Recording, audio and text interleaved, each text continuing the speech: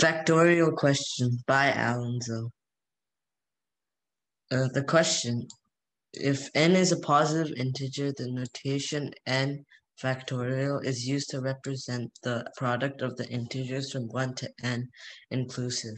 For example, 5 to factorial equals to 1 times 2 times 3 times 4 times 5, which equals to 120. So which of the following is equal to a perfect square?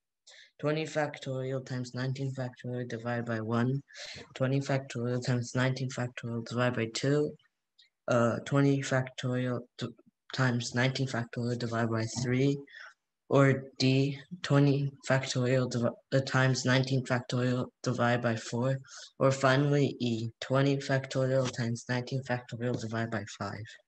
The solution. So what is a factorial? A factorial is the product of an integer and all the integers below it. So an example would be 4 factorial, which is 1 times 2 times 3 times 4. Uh, 20 factorial is just 19 factorial times 20 because 19 factorial is the product of 1 through 19. So 20 factorial is just 19 factorial times 20. So 20 factorial times 19 factorial can be rewritten into 19 factorial to the power of 2 times 20. Uh, next, we need to divide 19 factorial to the power of 2 times 20 by each, uh, each of the options in the question. Uh, so a 20 factorial times 19 factorial divided by 1 would equal to 19 factorial to the power of 2 times 20.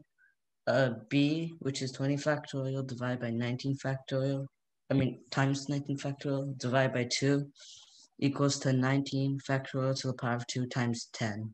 And c, uh, which is just 20 factorial times 19 factorial divided by 3 would equal to 19 factorial to the power of 2 times 20 um, times 20 divided by 3. And um, 20 factorial times 19 factorial divided by 4 would equal to 19 factorial to the power of 2 times 5. Finally, e 20 factorial times 19 factorial divided by 5 equals to 19 factorial to the power of 2 times 4.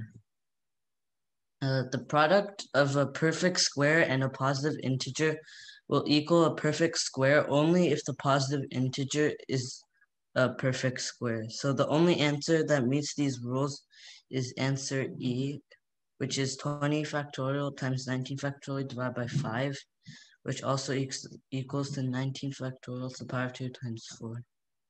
Uh, 19 factorial to the power of 2 times 4 equals to 19 factorial to the power of 2 times 2 to the power of 2, which also equals to 19 factorial times 2 to the power of 2, which is the square of 19 factorial times 2, therefore making it a perfect square. Uh, the end.